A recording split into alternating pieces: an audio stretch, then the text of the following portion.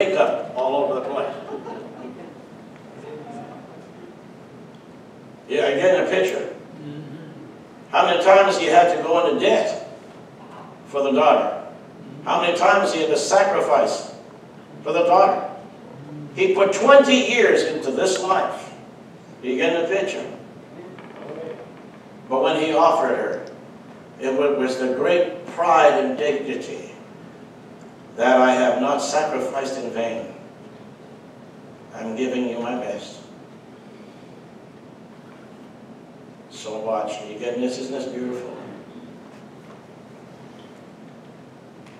That the Gentiles, like the wife or the bride, can be acceptable to Christ, sanctified through the Holy Spirit.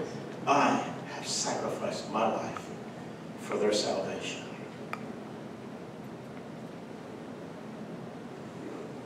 Isn't that beautiful? Isn't that nice? Uh, Paul saying, I have sacrificed my life.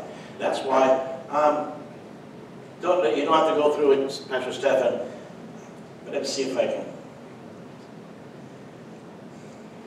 2 Corinthians 11. Somebody find 2 Corinthians 11, chapter 11, verse 1. And that'll give a strong endorsement and confirmation to what I'm just describing to you right now. 2 Corinthians 11, 1.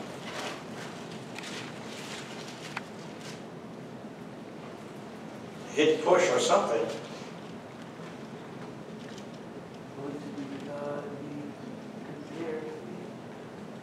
What, who's, who's got it? All right, there, okay. Oh, that you would bear with me a little folly, and indeed you do bear with me. Look at verse 2. For I am, I am jealous for you with a godly jealousy. See that? Look, watch the beautiful allegorical uh, statement here. For I have betrothed you, I have engaged you to one husband, that I may present you as a chaste virgin to Christ. Paul sacrificed his life to make sure that his little girl was presented to Jesus Christ as a worthy bride. Is that powerful, brother? God bless you. No extra charge. God bless you. Thanks for the lending of the foot here. I have a good amen coming here. Praise God. See, you see that?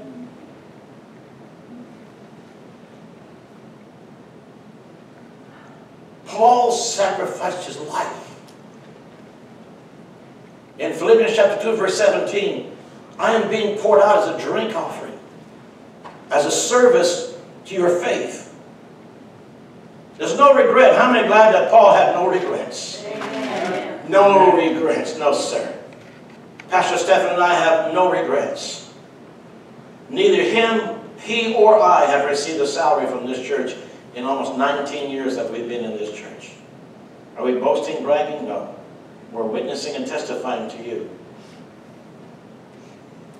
that it was worth sacrificing whatever was necessary in order to make sure that we present you to Christ. Undefiled, pure and holy, acceptable to Him. Did we deserve? Yes. Could we have required? Yes. But we did not. Still not on salary. And for the foreseeable future, are we independently rich? No. Are we broke? No. You see, God took care of Paul, and God's taking care of us. Amen. Amen. Are you getting a picture tonight? The, the priest sacrifices unto God on behalf of others in his fasting and praying and intercessory prayer. He offers up sacrifices of praise to God. And then he sacrifices his life. So Paul told the Philippians, chapter 2, verse 17, I'm reading poured out as a drink offering to the Lord. I'm ready to die here. I don't regret it. Because everything I have sacrificed, have sacrificed of my lifetime for your faith. Now he's telling the Corinthians, I'm jealous for you with a godly jealousy. I don't want you to miss the wedding. Somebody say wedding. Wedding. How many know, I- I'm preaching on this Sunday morning. How many know there's a wedding coming up? Amen. A marriage feast to the Lamb. Right.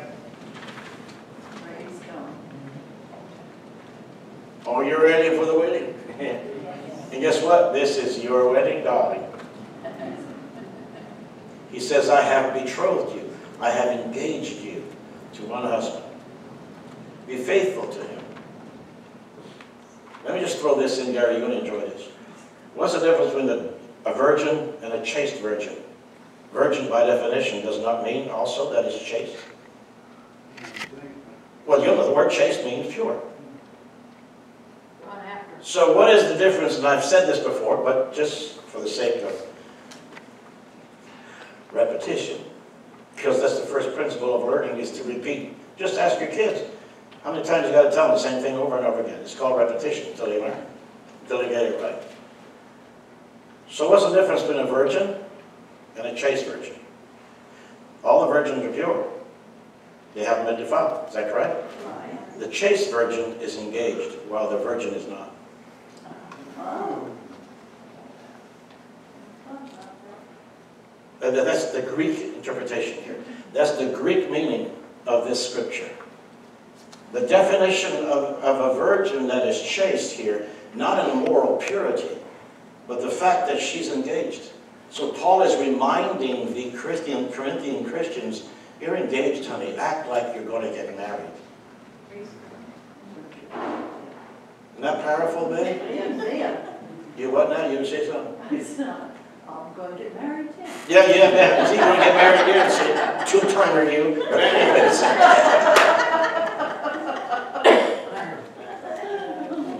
Praise God. All the virgins are pure by definition of moral purity. But Paul is saying, I'm jealous over you. Because I have betrothed you, I've engaged you to one husband. Don't mess around. Don't take your time of engagement lightly. I'm infringing on this Sunday morning's message. He said, I want to present you as a chaste virgin. In other words, as a virgin, morally pure, who's engaged right now. Don't forget you're engaged. Don't forget you're engaged. So let's go back to Romans chapter 15 and verse 16. I'm going to give you Dr. Kenneth Wuest's exposition in the Greek New Testament.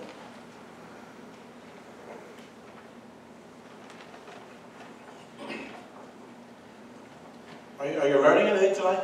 Amen. I I wish I could hear our YouTube and CD audience saying amen, but I can't hear them. But I'm glad you're here. Let's look at that verse. I hear an amen. Our uh, technician back at the camera, he can't say amen because we're too loud. The microphone's right there where his face is. But he has a he has a paper that has a big amen on the paper, and he sticks it up. See, look at it. Look at, look at that amen. See? Amen. Now that's not a cue card for me to say amen. That, that's that's just saying hallelujah. He says that I might be a minister of Jesus Christ to the Gentiles. So God gave Paul a very special grace so he could be a minister to the Gentile world. The Philippians, the Romans, and all the other ones, Galatians, and, uh, and all the rest of them. So, ministering the gospel of God, the good news, that the offering of the Gentiles, see, see that? The offering of the Gentiles. You see the picture of the Corinthian church offering you as a chaste virgin? engaging you to one husband, the father saying, her mother and I, give her away. The sacrifices that people make in order to present someone presentable at a wedding. You getting the picture? Mm-hmm. We who are consecrated priests, our job is to help you get ready for the wedding and be excited about it. That the offering of the Gentiles might be acceptable, sanctified by the Holy Spirit. Listen closely. Minister here is not the usual word translated minister, namely diakonos. Diakonos, you get the word deacon, for instance, from diakonos, that I might be a minister of Jesus Christ the Gentile. But here it's not that usual word. It's leotoros, gos, used in a secular life of a public minister. How many know that, it, like in Canada, anywhere or in England, they use the term the minister of finance, minister of internal affairs. You get that, minister? That's, that's diakonos in the Greek. In other words, they're deacons for the country. That, the diakonos in the Greek means deacon. But that's not, wait a minute. See, in sacred things now, in sacred things of the, the word leitourgos is in sacred things the priest of the Jerusalem temple. So when he's saying, I might be a minister of Jesus Christ to the Gentiles, he's literally saying, I'm, I'm, I'm, I'm a priest to the Gentiles. Are you getting that? I'm a priest to the Gentiles. Paul uses it here to speak of his ministry of preaching the gospel as a priestly ministry. Whoa.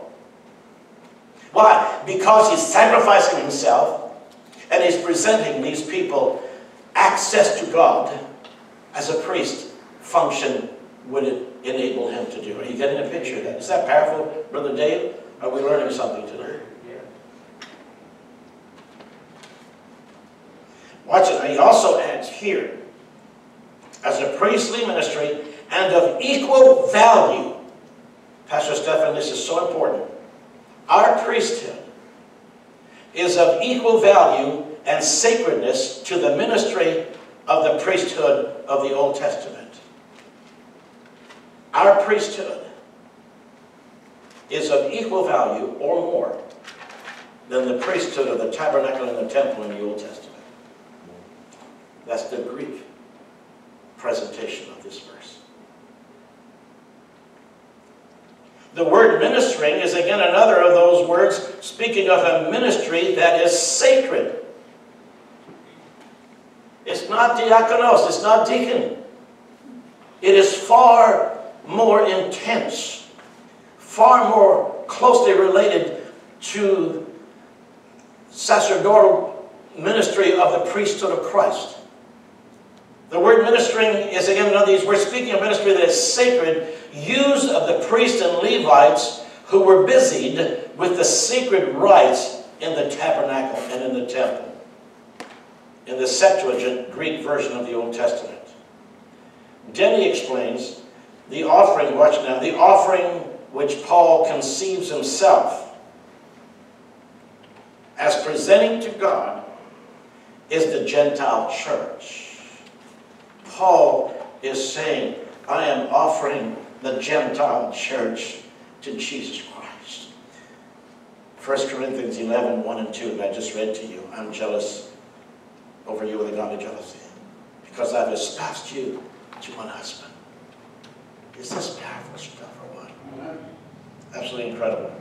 And the priestly function in the exercise of which this offering is made is the preaching of the gospel. The priestly function is the preaching of the gospel. Every time you share your testimony, you are exercising in your priestly function. You're literally depositing seed in people's hearts. Can I have an honest audience here tonight for a moment? Who's ever, in a little way, tried to play Cupid? we have one and a half honest people. Three, oh, four. okay. It, you know, your daughter says, I like this one. Mom says, I like that one. and the son says, I like this girl. Mom said, you don't like that one. You like this one. Even grandparents.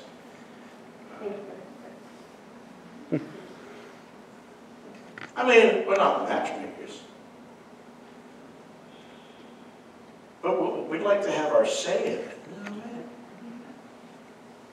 Because see, usually the ones that are older have trod down the road of failure, mistakes. We don't want our kids to, Mom, there, that going back. Been around the block. and, and we don't want our kids to do the same thing. I got it.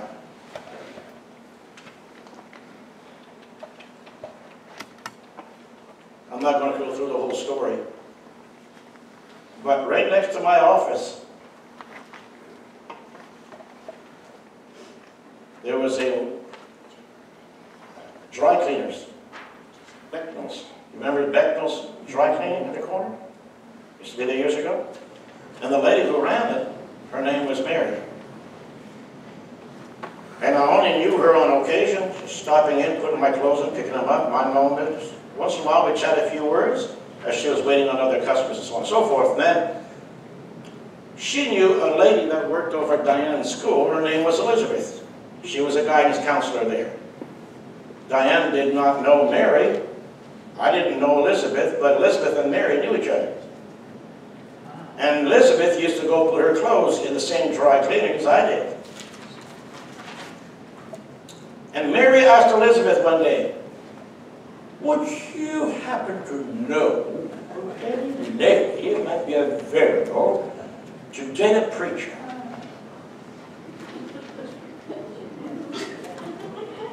She said, no, well, wait a minute. Diane at our school might be available. Who was Diane? So they conspired. They played feud. Mary begins to call me at my office. That's not, my office wasn't there at the time. My office behind Liz was thinking on Airport Boulevard at the time. There's a lady who wants to meet you. Really? Diane didn't know anything about it. But Mary and Elizabeth conspired. Hmm. And Elizabeth told Diane, if somebody wants to meet you, what does he do as a preacher? So he's not gonna stifle enthusiasm. I'm.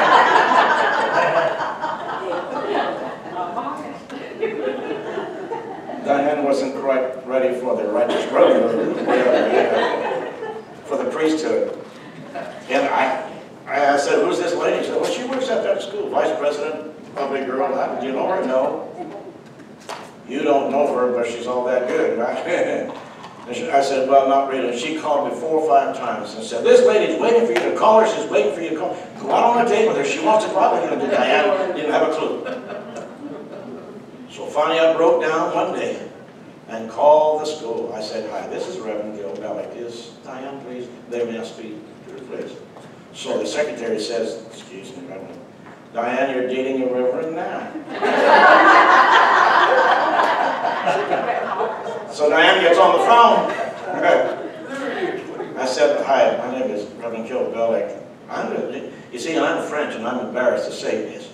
I should be able to have all the suave necessary to sweep a lady off her feet and bring out all that French cuisine, if you will, and just, when you're in a ministry all your life, you're clumsy at dating. You just, you know, dating is not exactly your, your high test, okay? This, and so my approach to ask for a date was this. Apparently, there are people who want us to get together on a date. Is that okay with you? Can you imagine the pitiful approach to ask for a lady to have be on a date with you? If somebody else wants us to get together. Well, thank you very much. I feel good about myself, you know. She just said, she laughed a little bit and she said, okay. Oh, past that. So we went on our first date, and after the first date, I shook my head, and she went home shaking her head. Both of us, our heads were shaking. And because see, the first night we went out, I was five minutes late. So that, that didn't work out very well. I did pay the meal though. And after the meal, we had a little lake in the back, and behind that uh, Applebee's. Applebee's out there in Harbison, 26. We walked around the lake, did all hands. Went Nobody into know it. what you're talking about.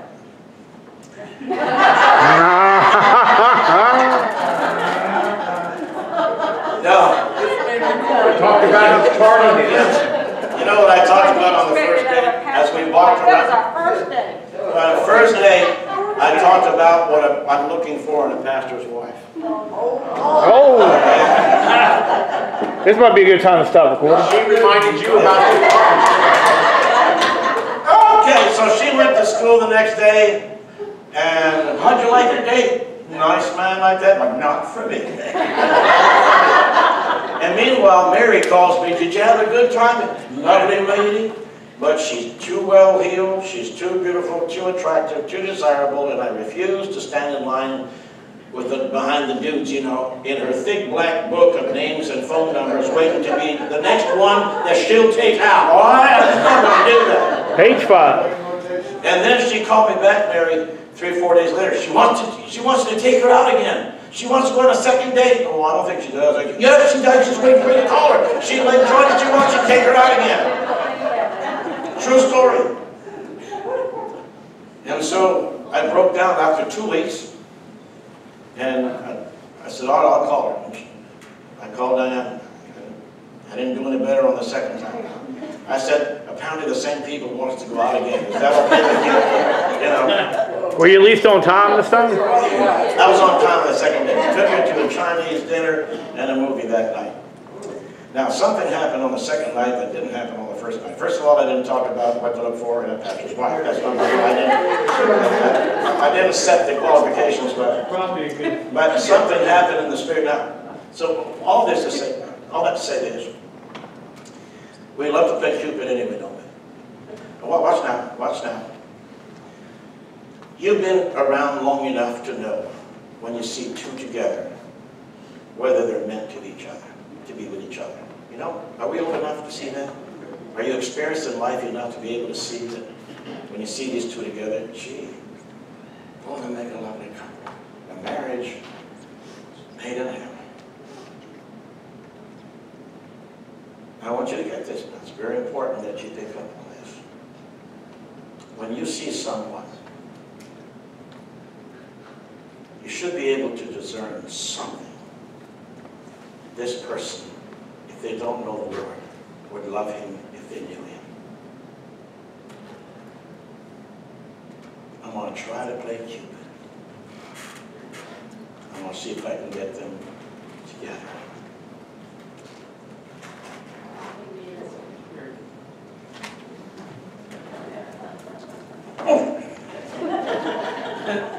That's our famous traditional amen here. And that's what Paul did when he took his missionary journeys. He saw people, he said, yeah, they're hungry for God. And he accessed them to God. Isn't that beautiful? He, engaged them to Jesus Christ, their husband. Isn't that powerful? By the way, about a month or two later, Diane goes to school and she said to them, we're talking marriage, and guess who just about fainted? Elizabeth and Mary, you know, and they both said, oh, you can't do this too fast, it's too fast, no go there. They wanted to put the brakes on, hold this wild horse, and go, whoa, Nelly, whoa, it's too fast. Too late. Five months later. Five months later, we were married, and in a couple of months from now, it'll be 19 years. They did a good job. And watch now, if here's something cute. How many remember, are the two names of the ladies was Elizabeth and Mary? Look in the Bible, when there was an Elizabeth and a Mary that planned, look what happened. And when her and I got married, along with Pastor Stephen and Shannon the family, look what we have here. Jesus showed up. We got married on the tenth, and we started church August eighth. We were married a month and we started the church. So Mary and Elizabeth did it again. Isn't that powerful? It's good. You do, isn't that powerful, brother? It's good. You never know But that person that you lead to the Lord might be another Billy Graham, might be another Oral Roberts, might be another huge name for God. You don't know. Or it might be just simply a good pastor shepherding the flock of God. You don't know. But priests are called to make sacrifices to God and sacrifice themselves as a drink offering poured out to bring others to Jesus Christ. Yeah, sweet it is. You love the Lord tonight? Amen. We had a good time tonight. Get the Lord a good hand.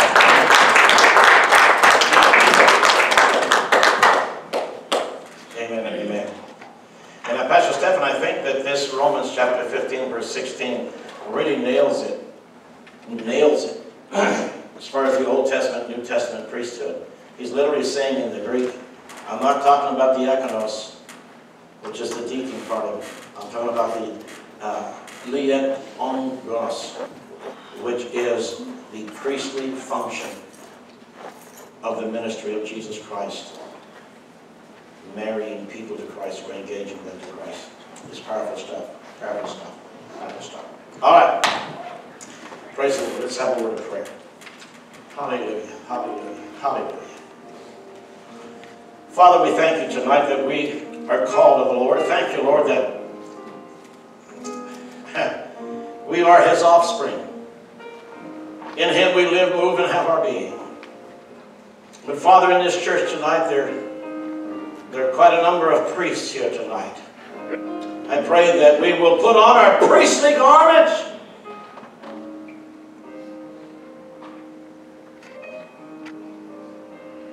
And walk with the dignity of the call. Walk in the dignity of the call.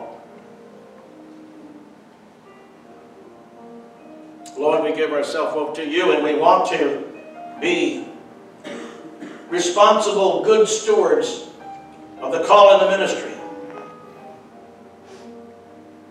That others would see in us Christ, the hope of glory, and discover the riches of his glory. Father, tonight, we give ourselves, according to Romans 1, 12, 1, over to you, our bodies, living sacrifice, holy and acceptable unto him, offering each member of our body as an instrument of righteousness unto God. And tonight, Father, may our voice, may our hands, may our feet be those of a priest. So we can help people access God. If they don't need but a moment of prayer with them. We believers are called to pray with those who've not found that peace with God yet.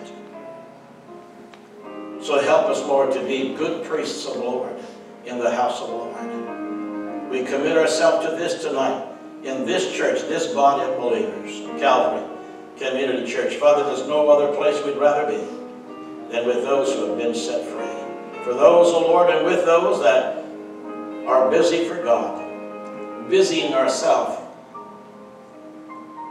with the responsibilities and the duties of the priesthood. We give ourselves wholly over to you. In Jesus' name tonight. And everybody said amen. amen. Give the Lord another good clap.